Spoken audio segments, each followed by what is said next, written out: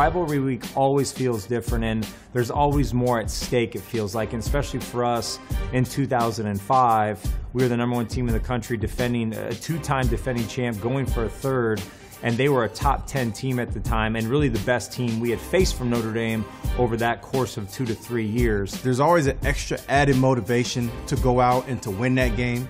Uh, because it's usually bragging rights, not only for the players, but for the fans as well. It just felt different. It was their Super Bowl, and, and that's how they treated it, and that's how game day felt uh, that Saturday.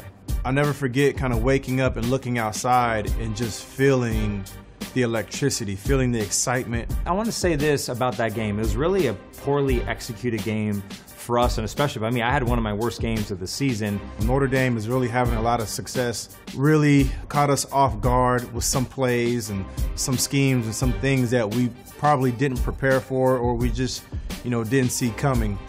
That game and a couple interceptions, it was going back and forth, and then the two minute drill. We got into a third down Reggie picked up a third down, which is kind of one of those plays that no one talks about, but it was third and four, third and five, and he got six yards, which moved the change, stopped the clock again. Matt drops back. I think to throw a football, he scrambles to the sideline, gets knocked out of bounds, ball flies out, but there's time on the clock. And that's when they storm the field, but the ref, you can say he's stopping the clock at the one yard line. The refs are trying to get people off of the field. Uh, we had all this time to kind of decide what play we wanted to run.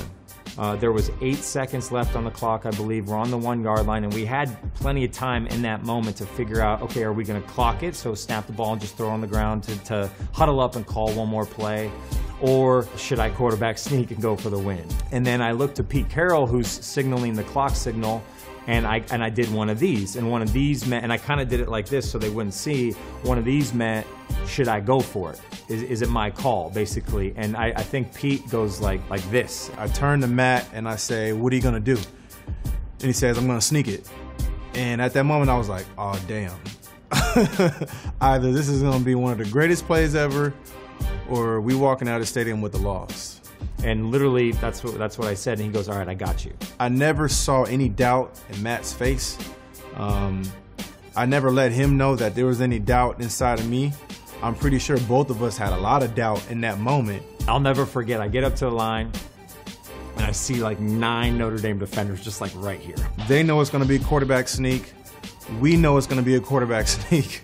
At that point, it's just about who wants it more. So I snap the ball, and that's when just like two or three seconds, I have no idea what happened. His initial surge gets kind of knocked backwards towards me.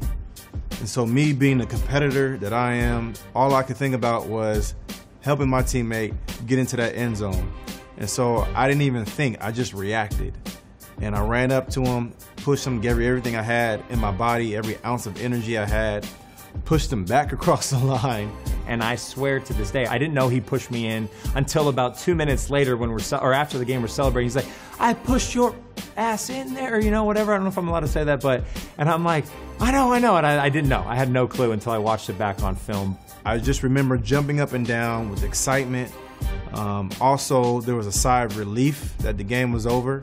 I remember even being in tears, you know, hugging my teammates hugging anybody. I was trying to hug somebody, anybody. I didn't care who it was. There was like a handful of guys on our team that were crying in the locker room, and it wasn't like the big. It was like like the one tear cry that like you just can't control it. You're so emotional. You're so almost like emotionally drained that it just starts flowing and you can't control it. That's what our team looked like after that game. It was pretty incredible. There's something to be said for when you give 110% on the field of battle and you literally leave everything on the football field. It is truly a game of inches, and sometimes it comes down to the last second on the clock, and that's what makes this game so special.